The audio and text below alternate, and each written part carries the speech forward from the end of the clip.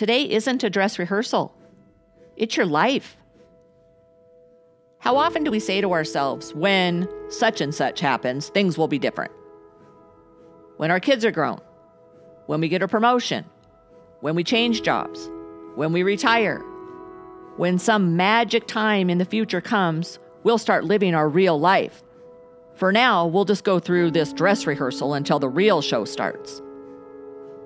I hate to be the bearer of bad news, but this is your life. You don't get a warm up session before the big game. You don't get a trial run.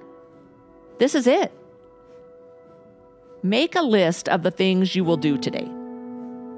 Are you slugging through them? Or are you performing them like this is the real show? The things on the list make up your life. You won't always be excited about doing them. And some of them will be things you do simply because you have to. But they are worth doing with proper attention and care.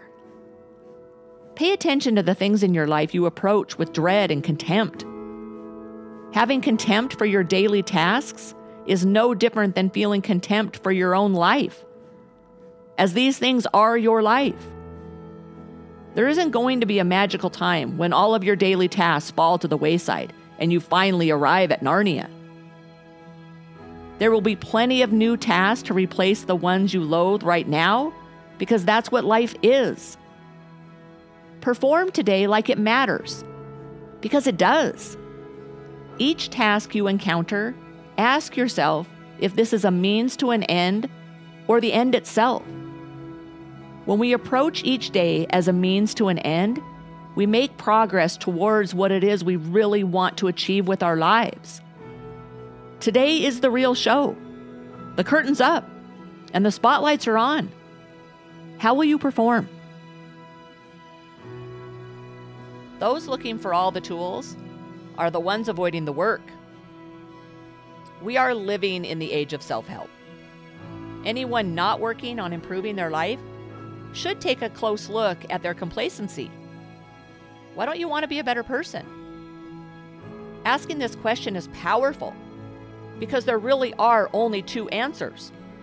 One, you don't want to do the work, or two, you're already perfect the way you are. So, which is it? Do you think you're already flawless? Or are you avoiding the work? My guess is you don't think you're perfect. Most of the time, we don't work on improving ourselves because deep inside we feel unworthy. If we finally start believing in ourselves, we realize there is so much to change, we don't know where to start. We're overwhelmed by all the work and we freeze. We've all been there. We have a million things to do on our list. We look at it, experience a rush of anxiety, and then pick up our phones and start scrolling Instagram instead. It's because when we have 50 things to fix, it's difficult to know where to start. This is where the tool master comes into play the self help junkies.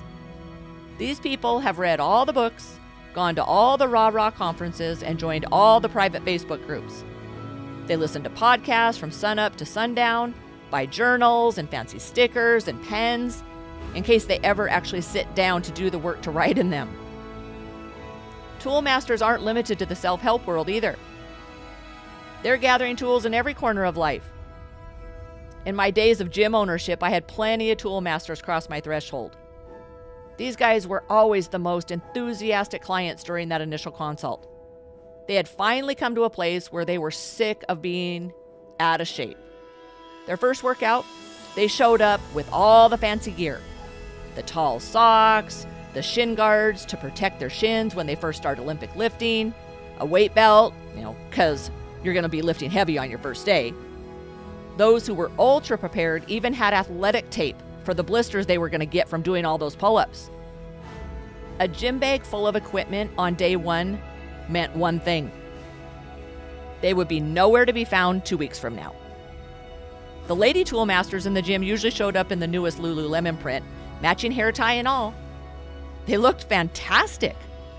The five days they actually came to the gym before canceling their membership via email. There's always a tool master on the construction site, too. He's easy to spot. You find him walking around, grabbing tools for all the senior guys on the site who are actually working. He's so helpful. Always willing to grab a hammer, switch out that screwdriver, and chase down the 2x4 you need. But before long, you find him sitting, swigging his Rockstar energy drink, and staring at his phone. After all, gathering those tools for everyone else who is working takes it out of you.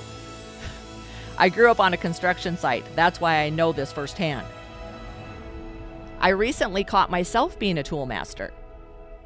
I'm in the thick of publishing my first book and found myself frozen when it was time to write the introduction. Staring at a blank page, I turned to the internet to look at all the glorious writers ahead of me in their careers. I searched how to write an introduction, as if I don't already know how to write one. I thumbed through books in my library to compare how crappy mine would be in comparison to theirs. I caught myself, after wasting a few hours, thankfully, sat myself down and started typing. An hour later, with Les Miserables, Do You Hear the People Sing blasting from my office, I wrote something beyond which I thought I was capable. Tools are necessary, but they don't replace the actual work. You can read all the books, but you have to put into action what you learn. You can meet and greet with all the famous gurus, but the selfies aren't going to change your life. That part is up to you. Keep learning, keep seeking inspiration from people who are living what they teach, but don't let it replace the work. You are worthy.